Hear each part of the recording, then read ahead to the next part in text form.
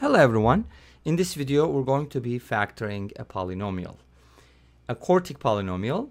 This problem is from one of the regional math olympiads in Russia. Let's get started. I'll be presenting two methods, so let me start with the first one.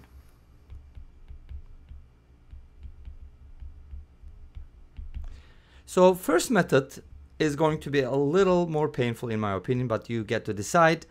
I'm going to write this expression x to the fourth plus x squared plus square root of 2 times x plus 2 as a product of two quadratics. Now notice that the term with x cubed is missing, so that means we can write it as x squared plus ax plus 1 multiplied by x squared minus ax plus 2. Of course, it doesn't it doesn't always work. Uh, maybe it's not 1 times 2, it's something else. But since this is factorable, we're looking for something nice. If 1 and 2, positive 1 and positive 2 don't work, then I will try negative 1 and negative 2 because that's another option. So let's go ahead and distribute the right hand side and let's see what we get from there. When you multiply, it's going to give you x to the fourth power and then minus ax cubed. Just go ahead and distribute everything. 2x squared plus ax cubed minus a squared x squared plus 2ax plus x squared minus ax plus 2. Let's simplify this.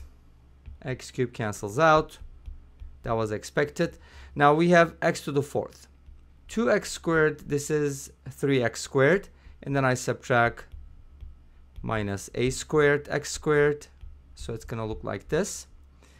And then I should look at the x terms. 2ax minus ax is just ax. And then I have plus 2 at the end.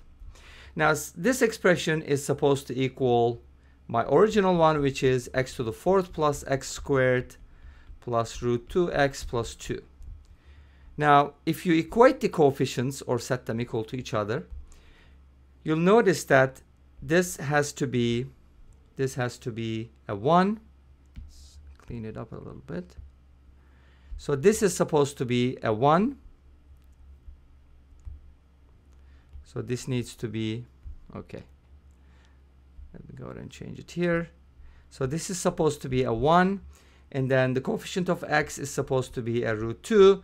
The constants match and x to the fourth match. Okay, great. So now from here we get two equations. So, kind of like a system. Either 3 minus a squared. I mean, not either. It's actually both so that's an end. 3 minus a squared needs to be 1. This means a squared equals 2, and this means a is root 2 or negative root 2. And the other equation gives us a equals root 2, so we can just say that a needs to be root 2. So that's the only solution we get from here. And that means that our expression can be factored. So x to the fourth, our original expression was x to the fourth plus x squared plus root 2x plus 2 and I assume that it, it's factorable as this. So I can just go ahead and replace the a with root 2 that's a positive 1 that's a positive root 2 so it's going to be x squared plus root 2x plus 1 multiplied by x squared minus root 2x plus 2 and this concludes the first method. So let's go ahead and talk about the second method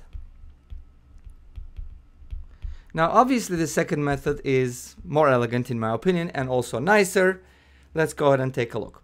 Now, for this method, I'm going to use what's called Sophie Germain's identity. For those of you who are not familiar with that, it looks like this. If you have something like x to the fourth plus 4y to the fourth, this is factorable.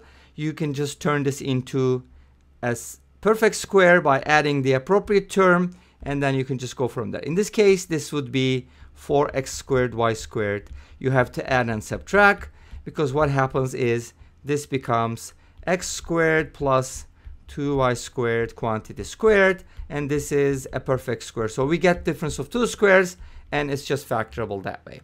So this is really nice. You know that the sum of two squares cannot be factored if you're looking for rational or irrational coefficients for in other words real coefficients but if you're looking for complex that's a different story but with the case of fourth powers, obviously you can also use the same method x to the fourth to you can apply the same method to x to the fourth plus y to the fourth if you don't worry about the coefficients being irrational.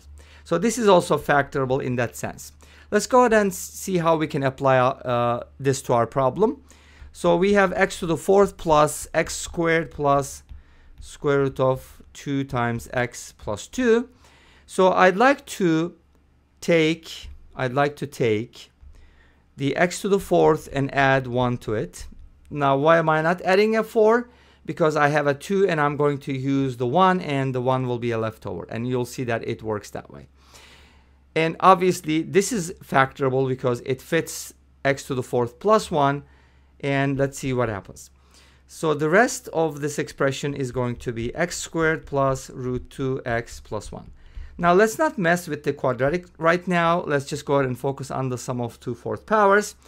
So instead of memorizing the formula, obviously, for Sophie Germain, you can just go ahead and focus on how you can turn this into a perfect square. So I need to add, I need to add 2x squared to this. So uh, my goal is to make this a perfect square. And of course, I'm going to be, you know, just, I'm not just going to be adding and subtracting it. Well, I'm just going to add and subtract it. Basically, that's what I'm trying to say. So I'm going to I'm going to be adding 2x squared and then subtracting it and then just leave this alone for now. Don't mix them up because I'm going to need that quadratic expression later. So now this part becomes a perfect square and you can write this as x squared plus 1 quantity squared. And this is minus 2x squared and the rest is just going to be as is. Now you might be thinking what's the point about this and remember the idea is to turn this into a difference of two squares. So we can write the 2x squared as root 2x quantity squared. And this is where the problem kind of breaks down. Now I have a difference of two squares. So it's kind of like a squared minus b squared. And as you know, a squared minus b squared is factorable as a plus b times a minus b. So this can be factored into x squared plus 1 plus root 2x multiplied by x squared plus 1 minus root 2x and the rest just follows.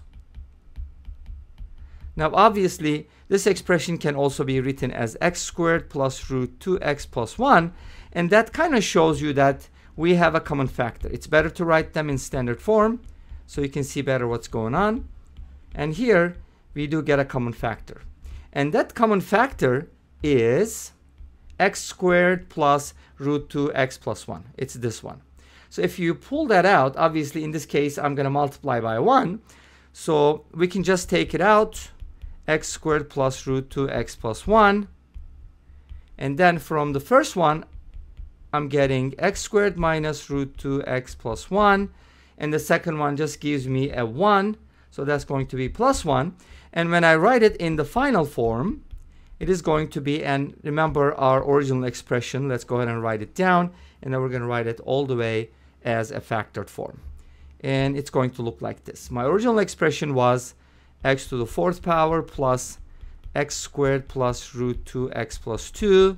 And now we know that it's factorable into x squared plus root 2x plus 1 multiplied by x squared minus root 2x plus 2. And this brings us to the end of this video. Well, thank you for watching. I hope you enjoyed it. Please let me know what you think about both of the methods. I'll see you tomorrow with another video. Until then, be safe, take care, and bye-bye.